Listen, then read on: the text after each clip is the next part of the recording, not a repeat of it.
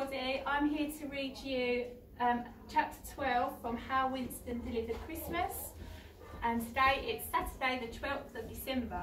This chapter is called Splash and Splatter. Winston continued scampering down the road to Fortesques as fast as he could.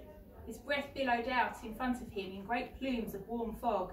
He imagined for a moment that he was one of the enormous trains that huffed and puffed in and out of the city from the busy stations dotted around town. His feet pitter-pattered along the pavement, and with his important letter tucked under his arm, Winston felt a bit giddy knowing that his mission would soon be completed. He noticed that some of the people that he passed were carrying parcels wrapped up in the jazziest paper, many of which were adorned with ribbons and crinkly bows. He wondered what could be inside the packages what surprise lay inside for the recipients when they ripped off the paper in the morning?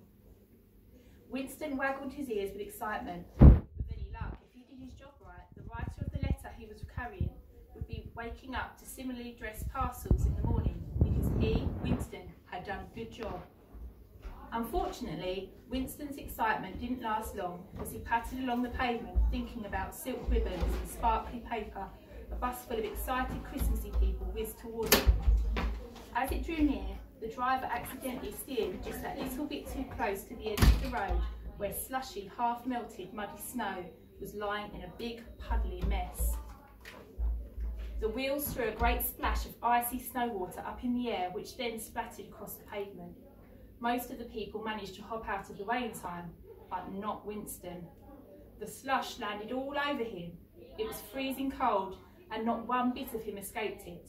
He was coated from nose to tail in filthy, icy water. Winston shook himself and wiped his eyes with the back of a paw. Thankfully, because the letter he was carrying had been rolled up under his arm, it wasn't too splattered with muck. Winston unravelled it and gave it a good shake, but this was his big mistake. He heard another van whizzing along the street beside him. There was no way Winston was going to be splattered again, so he dived out of the way but the envelope slipped out of his wet paws. It was lifted high into the air above him before being snatched by a chilly puff of wind. No, squeaked Winston. He leaped up to try to grab it, but it was too high. Horrified, all Winston could do was stand covered in dripping, muddy puddle water and watch as the wind blew the letter into the road. It fluttered about, buffeted against the side of vehicles and whipped off windscreens by busy wipers before slapping into a halt against a traffic light pole in the middle of the street. He had to get it back, and the only way to do that was to cross the busy road and try not to get himself squished in the process. Winston gulped.